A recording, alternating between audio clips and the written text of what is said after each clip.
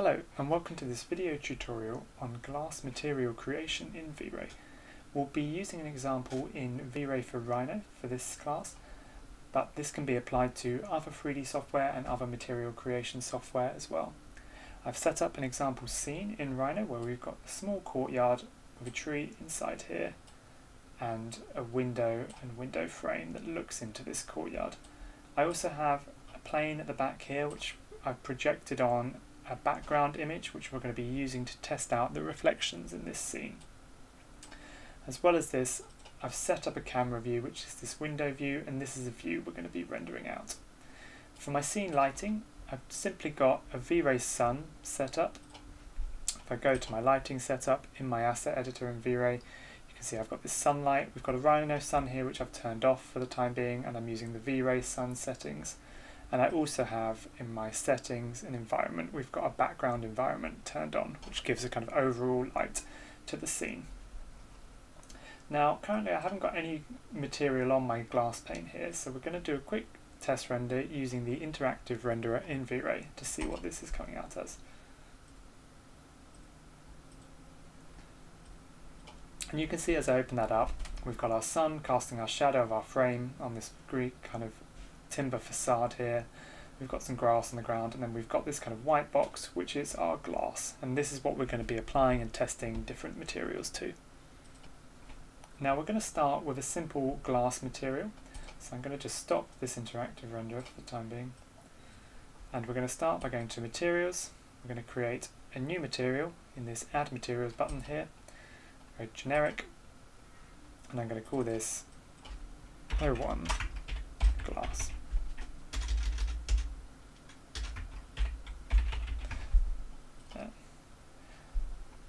Now for the diffuse of the glass material, glass is see-through, completely transparent, so it doesn't have a diffuse colour, so we're going to make that black to start with. We're going to make the reflection fully white, so it's fully reflective, it's a shiny reflective material, and we're going to keep the glossiness on a 1, which means it's very shiny at the moment. On the refraction as well, we want this to be transparent glass, so we're going to turn the refraction colour up to white as well. This will make it fully transparent or fully refractive in that case. And then we're going to apply that to our glass object in here just by right clicking on the material and going apply to selection there. And let's test that out and see how that's going. Now this is a basic glass material. We've got a kind of see-through glass we can see here. You can see on the darker parts of the tree there, there's some slight reflections but they're quite hard to see because we've got the refraction all the way up here. If I were to turn the refraction down to halfway to make it kind of semi-refractive, therefore kind of semi-transparent, and we'll just wait for that to update in the preview, you see because my material's got a black colour, we're now going to have a kind of semi-transparent black material and it will be much more reflective. We'll be able to see kind of what's behind because it's less transparent. And you can see there, it's a much darker glass in this way, but we can see the reflection behind. Now, for a standard glass, I'd recommend keeping the refraction up in white, keep it kind of invisible, and you get these nice reflections only when there are darker parts of the image. If, say, you wanted it to be more reflective and you wanted more shiny glass but didn't want to lose any of that transparency, you can play around with the reflection IOR. If I turn this on, just by using this tick box, and we scroll this number up, it makes it kind of a shinier surface, a less sort of and less of kind of see-through and using that color, but more reflective in that way. If I had it on a kind of 10, it would look more like a mirror material. We'd get almost perfect reflection.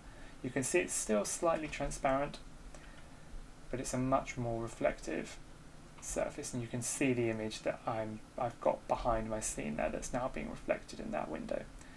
So I'd recommend keeping it at around a 1.6, which is set at. But you can play around with that value if you want to get more reflective surfaces. Now, that's a standard glass material. Now let's have a go at making a coloured glass on there. So I'm going to keep the same settings for my glass, but this time we're going to change the refraction colour here, and this is going to change the colour of the see-throughness of our glass. So you won't, you don't change the diffuse colour ever in a glass material to change its colour because the glass is fully transparent we need to change the refraction colour in order to get that colour to show through. So I've just clicked on refraction colour here and we'll scroll down to a blue and I'm just going to make it a blue for now. Yeah, and you can see that's updated in our preview and we'll just wait for that to update in our scene as well.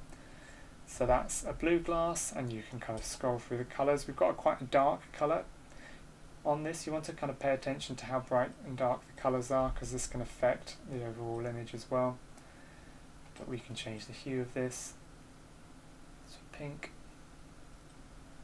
to an orange as well. And you can see the reflection around the frame as well is changing because of that. But it's very simple, just changing the refraction colour can give us a different coloured glass there.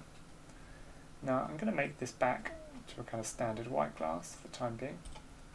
We'll go back and now we're going to look at how to create different types of opacity within the glass and maybe you want a sort of frosted glass effect.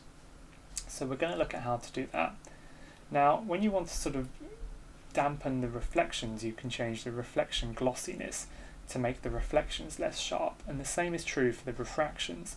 So at the moment our refraction or our kind of see-throughness of our glass is perfectly sharp and we can see the tree object behind it exactly as it is.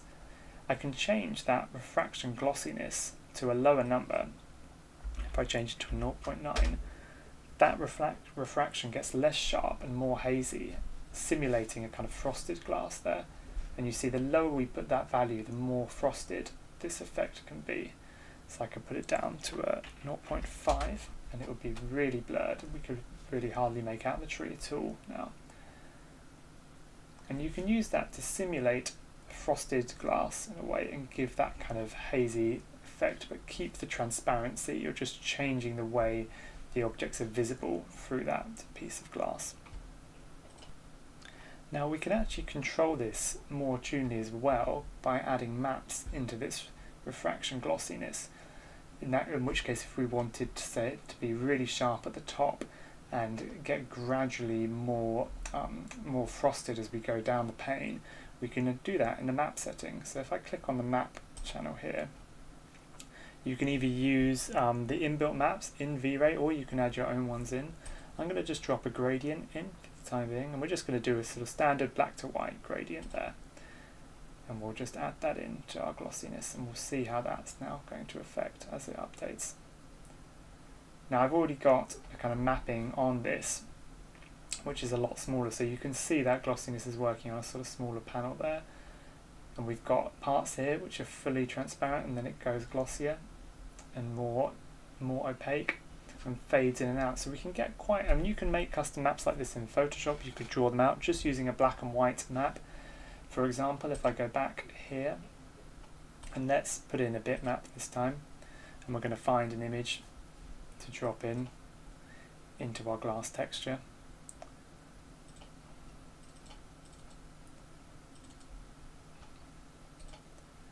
I've got a sort of perforated sheet material that you can see here, which I'll see just before I drop in, I'll show you what that looks like. This one here, which is just kind of a, a black and white grate, and what this would do is where it's black it will be fully frosted and where it's white we'll be able to see through as if it was kind of perfect glass there. So we can use any sort of map setting like this to affect the way our glass is viewed. And let's just wait for that to update and we can kind of see it on the geometry. And there you go, it's quite small on this, but if I make it larger, I'm just going to change the mapping by selecting my object, and I've already mapped it, so I can just up this figure here. Let's just make it 2000 by 2000, so we can see it more clearly.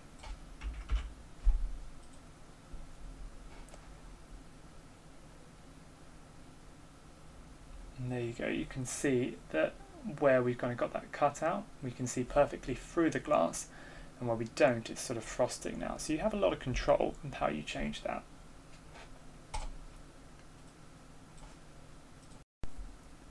Now the last setting we're going to play around with, with the glass is the displacement setting. If you wanted to give glass extra an extra piece of geometry, if you want to distort it, in this case I'm going to look at having fluted glass where you've kind of got glass tubes making up the pane and instead of modelling that we can actually use displacement maps to get this effect. So I'm just going to remove that mask for now and we're going to put the glossiness back up to 1. So we've got our kind of perfect piece of glass again. And I'm going to go down to my maps, go to displacement, and in displacement we're going to add in a displacement map to give a kind of corrugated or fluted glass effect.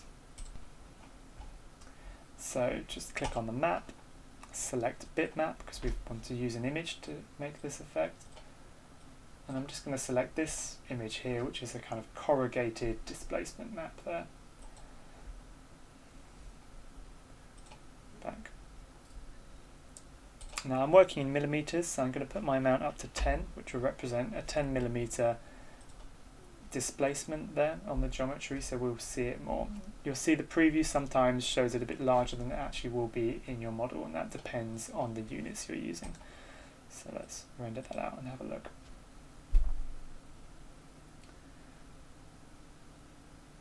And you can see there, we're starting to get the effect. My mapping's slightly too big now because I made it larger for that last piece, so I'm going to put it back down to 300. Just because my texture is a bit larger, so we want to make the mapping smaller to make that spacing out of this particular texture smaller in this case.